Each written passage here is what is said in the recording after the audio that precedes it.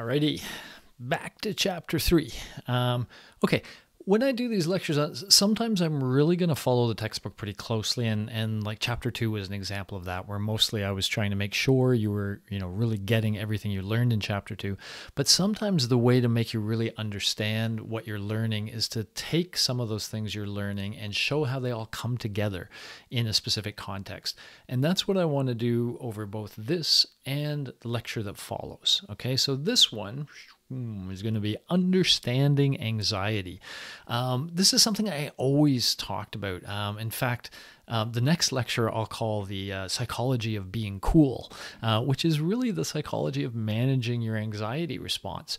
Um, and so I always used to give these in, in classes anyway uh, as part of my lectures. And when the pandemic hit and we were all feeling so anxious, myself included, I created a course for the general public to help them understand and manage their anxiety. And to the extent you might see me on TV or, or you know such in the media now, it's largely because of that course. That course, 200,000 people have gone through it all around the globe. It's generated a lot of um, attention uh, for lack of a better word, and has given me some opportunities to work with the Toronto Police Services, to work with um, people in the healthcare profession and such, which is which is really cool. Um, so it's been on my mind a lot, I guess is what I'm saying, and I think this is relevant to the situation we're in, um, so that you guys can all get a sense of what you've gone through in the last two years, what that has done to you, what's happening in your body as we all deal with threats, and you know why it's important to learn some good strategies for managing anxiety because you can manage it. In order to understand those strategies and why they would work, why they make sense, we have to start by understanding the anxiety response in the first place. That's what this lecture will be about. Okay, so let's jump in. Um, so, first of all, when we talk about anxiety, you can talk about it at different levels, and you'll see some of that kind of come and go as we do this lecture. You know, literally the physical level of what people feel, things like their hearts pounding, flushing on the cheeks sometimes, shortness of breath, dizziness, sweating, headache, dry mouth, etc. Goes on and on and on here.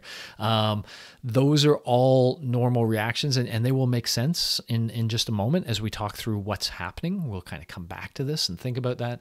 Um, but these also give rise to psychological symptoms like excessive worry, irritability, impatience, feeling on edge, um, vivid dreams, which is kind of interesting, eh? but mind racing, mind going blank, indecisiveness, difficulty concentrating, decreased memory. You'll understand why some of those things happen uh, in just a moment as well.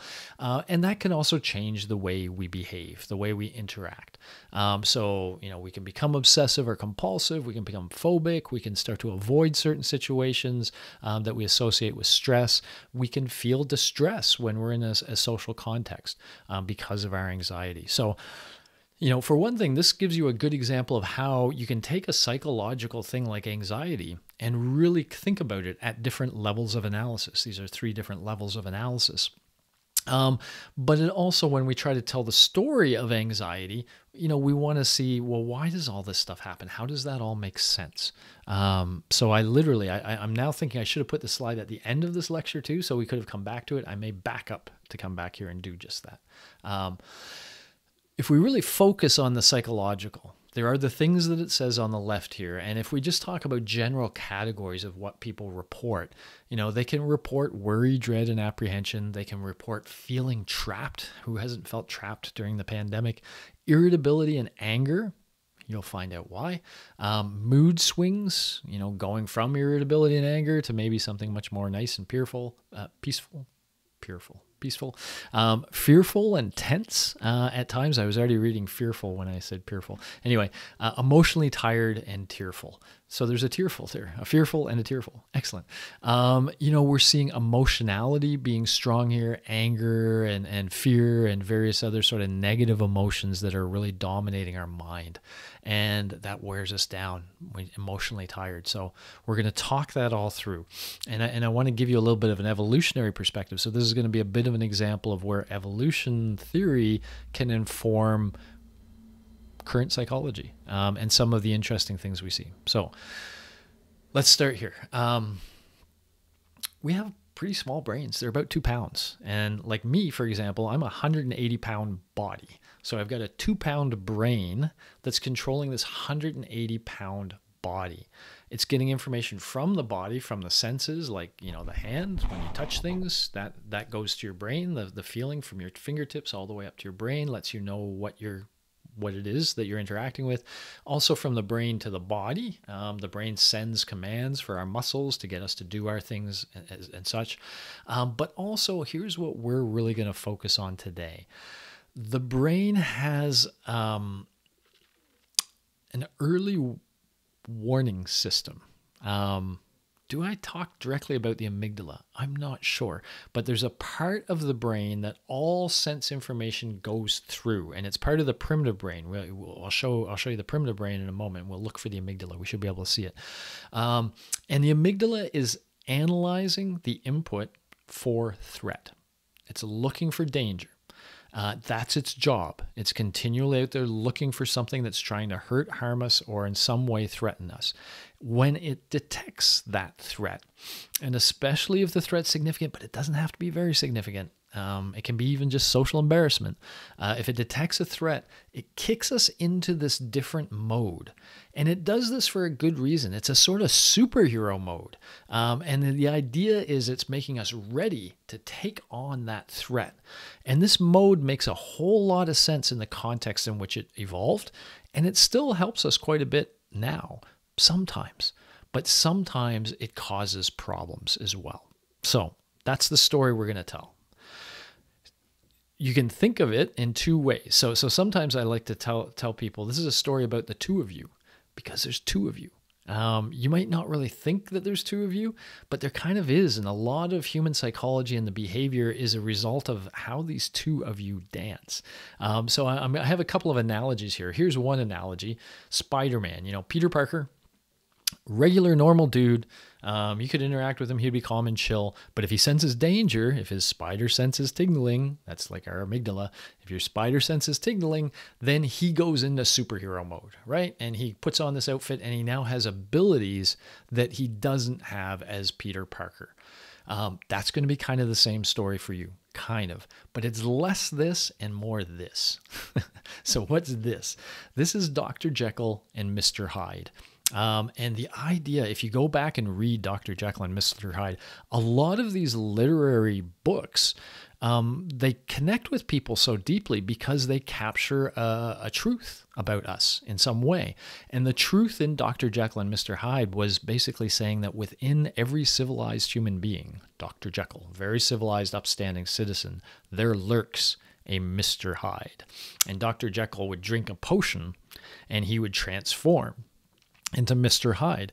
And Mr. Hyde was a much more primitive version of himself, um, had very specific, you know, goals and, and etc. Um, and that's kind of like us. You know, we have our civilized us that we that we wear out there, but when we detect threat, a more primitive version of us emerges and often takes over. Um, and that can be for good at times, and that can be for ill. Um, and so let's talk about that. So, did you know there was two of you? There's two of you. Um, that's kind of cool. So let me introduce you to these two, and let's start with Mr. Hyde. Let's start with that primitive one. Um, when in brain terms, like as you're going through the chapter, we'll usually refer to this as the limbic system. And there's the amygdalas right there. We have one there. There'll be one on the other side too. Um, so there's one on each side. So you see one here, and you see one over there, kind of tucked in there. Um, little almond shaped things. Again, that look at all the input that comes in looking for threat. And then they'll kick in other parts of this system. So the point we're making here is the same system. Here's how it is in a human being, and here's how it is in a rat. Uh, rat brain, human brain, rat brain. And the point made here is all of the same structures are there. And while they're a little different in terms of their organization, maybe their shape, and certainly their size, generally speaking, the system is present, this limbic system, and it's present in virtually every animal.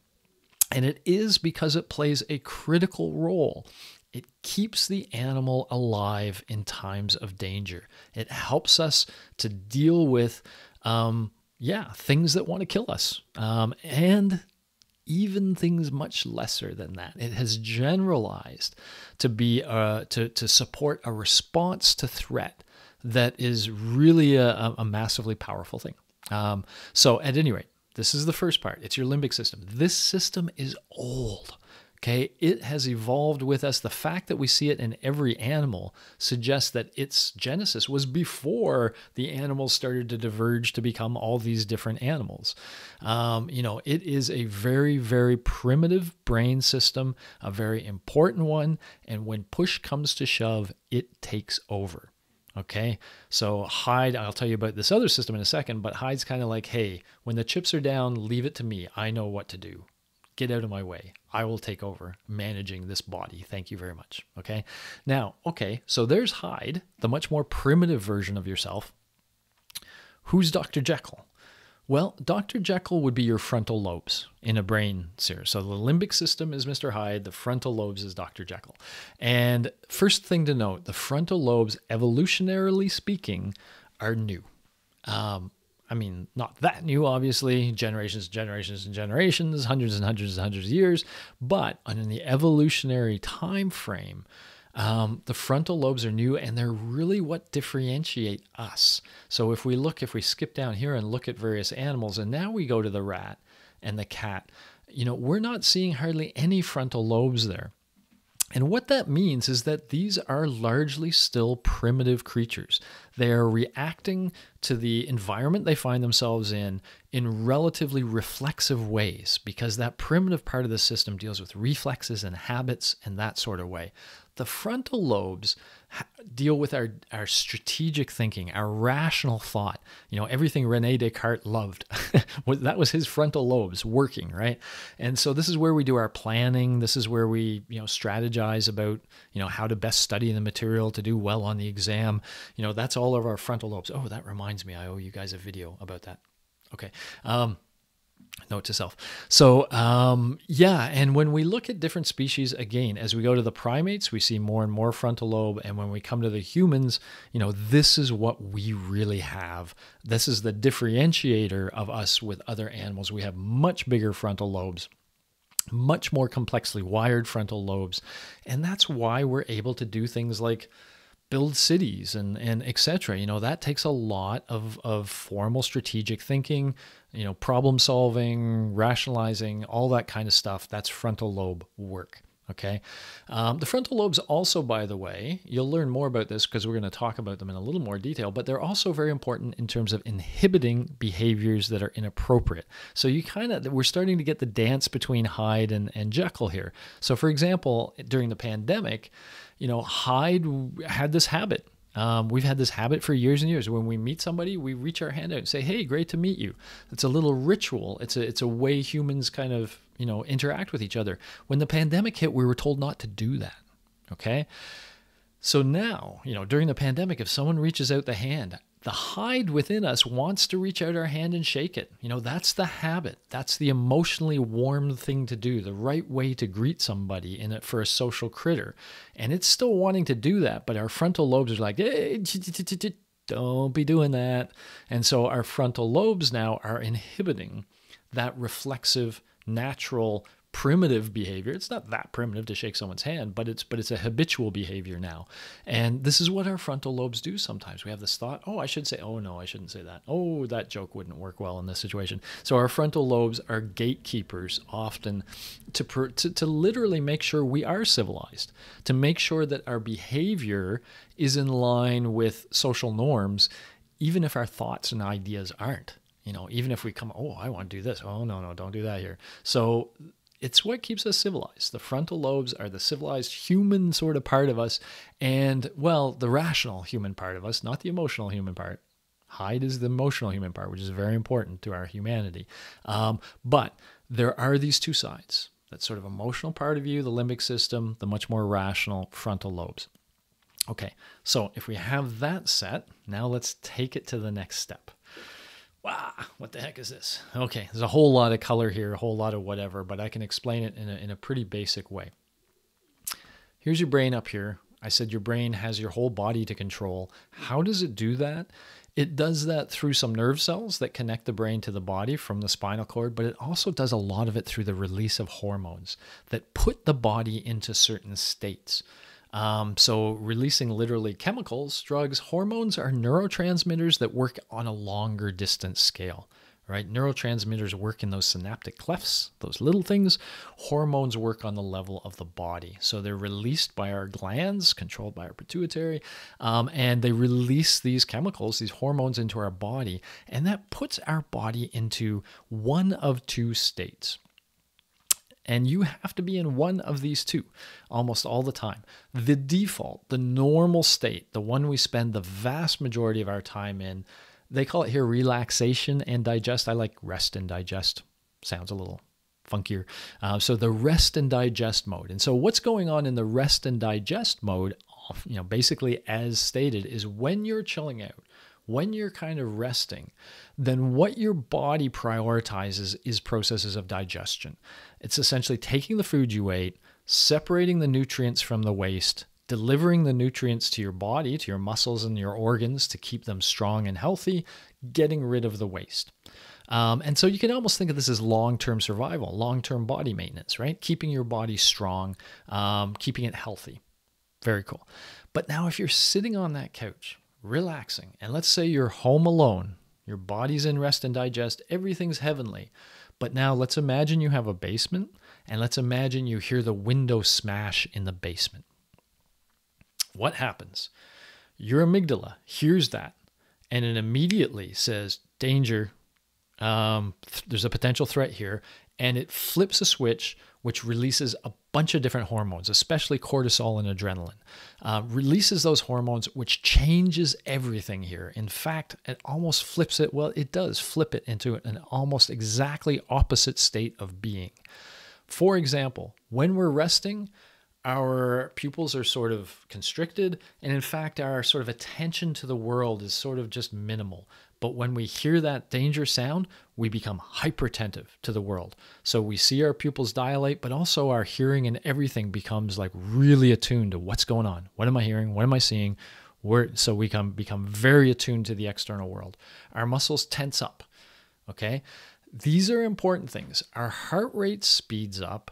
Um, and it's it's not I, I don't know why they don't have the breathing listed here because the breathing is always a, an absolutely critical one in rest and digest we take long deep breaths. Right? In fight or flight and i haven't told you yet this is fight or flight but when we get into that fight or flight that's shorter um, faster breathing. So closer to a panting kind of thing. What is going on there is when you pant like that and your heart is beating fast, what's going on is your heart is now pumping oxygen rich blood to your body. So your oxygen, that's adding oxygen to the blood, and then the heart beating fast is pumping that blood out to your body, especially to your muscles, getting that oxygen rich blood out to them. Our bodies, as you'll learn, kind of work off of oxygen. Oxygen is kind of the energy of all of the all of the parts of our body. Um, when we look at fMRIs, we're going to follow the oxygen as it as it moves around the brain. But in this case, the oxygen is going to your muscles. Now, what does that do? For one thing, you can feel it, right? You you get that you get a little bit of a, a tingle I guess you'd call it. Um, you can feel your muscles tense. And what's really going on here, by the way, your digestive system is shutting down. It's like, forget about digestion. It's not important right now. What is important is this issue that we have to solve. And so you also, in your mind, feel compelled to do something. And often it's down to this fight or flee. There's that crash in the basement. I'm either going to go down there and take it on, whatever that is, including maybe an intruder, or I'm going to choose this as a good time to go out and go somewhere else. like I'm going to leave. I'm going to leave this house, whatever whoever's down there. I don't want anything to do with it. I'm getting the heck out of here. Okay? That's the fight or flee kind of response. No matter which of those you choose, it's really handy that your body is super strong right? Because if you're going to take on that threat, you want to be at your best. If you're going to try to run away from it, you still want to be at your best. That's what's going on here. You're you're being put into a sort of superhero mode where you're really strong, but you're also really dumb. dumb is the wrong word. But when you go into this mode, your your frontal lobes kind of go offline and your limbic system kind of takes over. So it really is Hyde kind of saying, listen, Jekyll, out of the way. We don't need any of your fancy rational thinking right now. There's danger afoot. We have to act and we're going to fight that danger. We're going to get the heck away from it. Don't bog this down with heavy thought. Now, I will be clear. Some people talk about fight, flight, freeze, as you see here.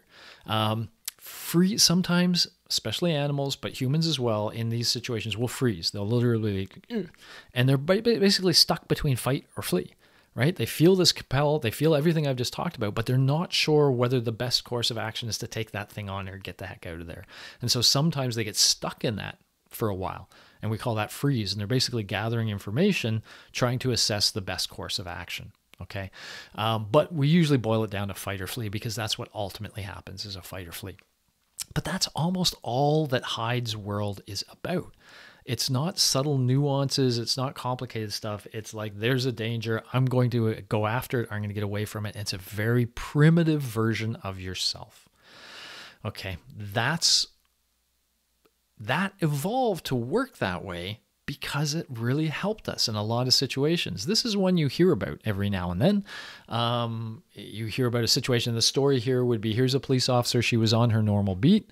She was walking around and she hears a commotion. She comes around the corner and sees a child trapped under the car. Now, the first thing you might say is, well, that's not a danger to her. And it's not. But this is where we want to talk about how general this is. There is there is a danger to her. Her job is to protect the community. Here's a member of the community who is in danger, who is in help. Sorry, who needs help. If she just ignores it or walks away, um, that's a threat to her. She's going to get in trouble for doing that. That's not what she's supposed to do. She is supposed to be there to help, and she wants to help well. So she wants to go there and do something that makes a positive difference because that is her job. And if she screws it up, that's not going to be good. So there's a threat for her too in that situation. Plus, she feels the empathy with the child. And this will all kick off her fight or flight. I have to do something. This is a fight reaction. She's going towards that and doing something. And what is she doing? She's lifting a heavy vehicle by the engine side. This is where the engine is. This is the heaviest part of the vehicle. And you would say, uh, a woman can't lift a vehicle like that. And you would be right most of the time. When her fight or flight is engaged, you know, despite the like shock and awe uh, evident in the faces, when her fight or flight is engaged, then we're capable of doing things like that. And that's why it's there. Simplify the thinking, just do what you got to do, and here's all this extra power to get it done with. Okay. So that's very useful in situations like this that's where it evolved. It evolved when we were hunting and gathering, and that bear steps out. And we have to either fight that bear or get the heck away from it, right? And we have this power, this strength to do it. It keeps us alive. The system keeps us alive when these threats hit us. However, there's a really important distinction to make. I've been talking so far about this from an acute stress point of view, like my bear popping out. When that bear pops out, it's, it's what's called an acute stress. And what we mean is it wasn't there, now it's there. We're going to deal with it. And once we deal with it, it won't be there anymore. So it's something that pops up and then goes away. So with the bear, it's popping up. We're going to decide to fight or flee. I'm not sure fighting would be a good idea against that, that dude, but we're going to make that decision. Uh, we either fight or flee, assuming we don't die, and we might, but assuming we live through it, you know, we either scared that bear away and he went running away from us, or we successfully ran away from him. Either way, at some point in time, it's over. Okay. And this whole fight flee reflex that we just had can dissipate back to rest and digest. That's how it's supposed to work. That's how our ancient world worked. The stressors tended to be acute. Um, they tended to pop up like that. And this system is there to help us in that situation.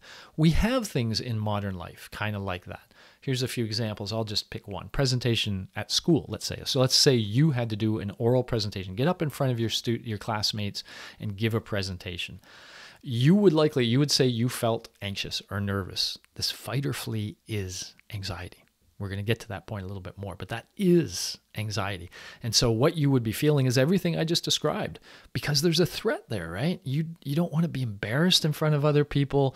You want them to like you. This is not a skill that you're necessarily feeling super competent at. You haven't done it a whole lot yet. And so there's a threat involved in in going up in front of people and messing it up. Uh, and so your amygdala detects that, oh, you're about to go into a dangerous situation. Now notice this isn't a bear right? This is just social embarrassment, but it, the brain doesn't care. That's a threat.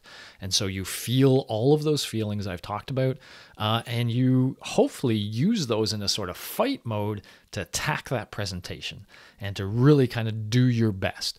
Again, one way or another, however well you do, at some point that presentation's over. You can go back to your chair.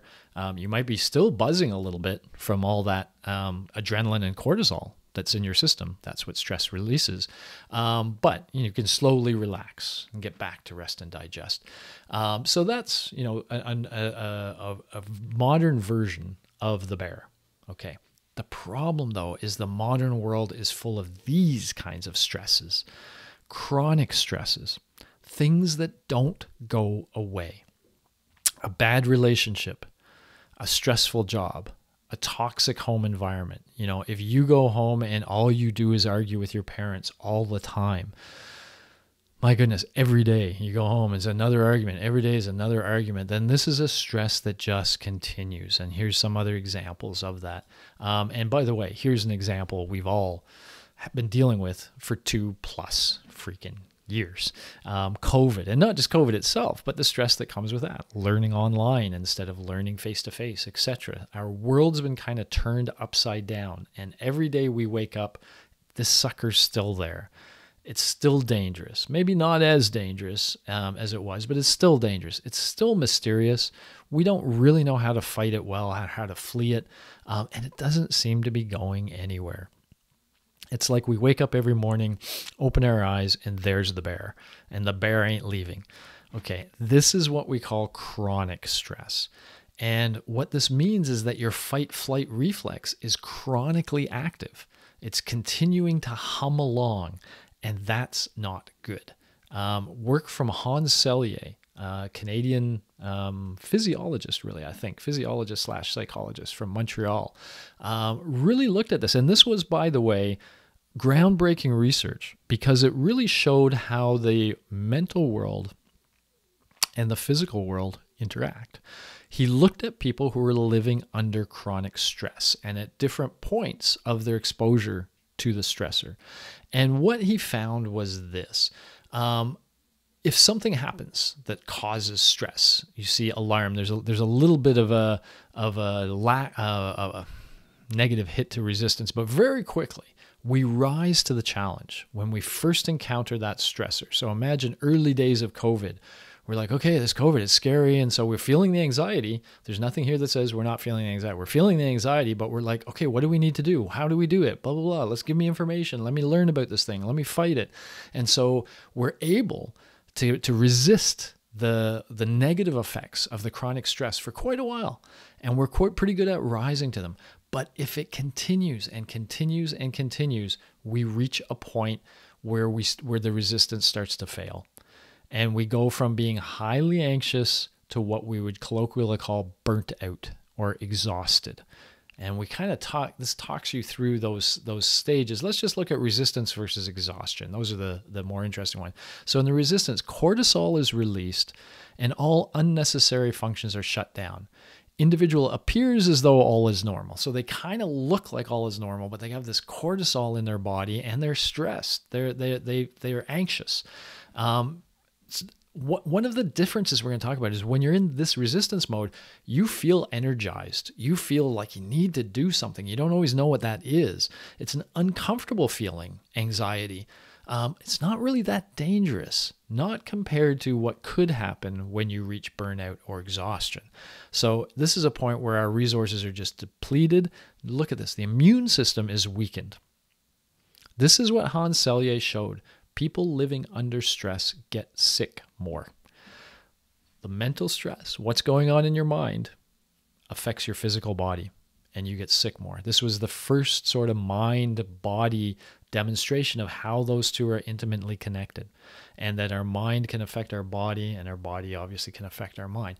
Um, so, yeah, when our resources are depleted, the immune system is weakened, and the prolonged release of adrenaline has negative effects on the body. So, this cortisol and adrenaline continuing to pour into our body starts to wear our body down, and it wears us down psychologically as well, and we become exhausted, okay, or as we'll say, burnt out.